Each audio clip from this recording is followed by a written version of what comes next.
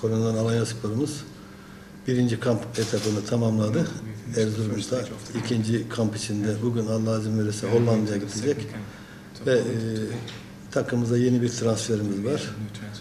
Zürih'ten Fidan, kendisi Kosova milli takım oyuncusu da aynı zamanda e, sol stoper oynuyor. 3 yıllık sözleşme imzalıyoruz. İnşallah e, al, Koronadan Alanya Spor'umuza katkı sağlayacaktır. Hem kulübümüze hem de Fidan'a hayırlı olsun. Aramıza hoş geldin. Of course, it's for me. Uh, for me, it's a, st- a step forward, and I am hap- very happy to be to be here.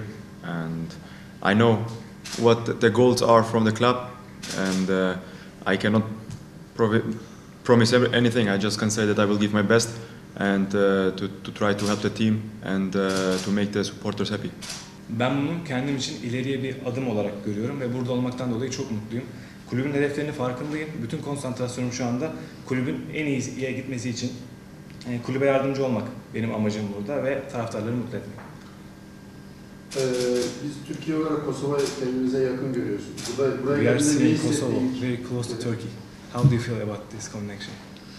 Uh, for me, this makes a little bit easier because uh, I have also family uh, in, uh, in in Turkey. They live here, and uh, it makes much easier for me. I know the mentality, and uh, yeah, it, it it makes everything easier and better for me.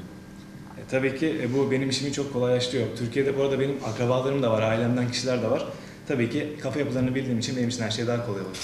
Of course, we want uh, stability for the team, for the supporters, for for for the club, and we must uh, uh, first do our pre- preseason and work with the coach, and then we see what uh, what counts from uh, game to game. Tabii ki kulübün başarısı için, taraftarların mutluluğu için çalışacağız. E, Buna da tabii ki bu kamptan başlayacağız.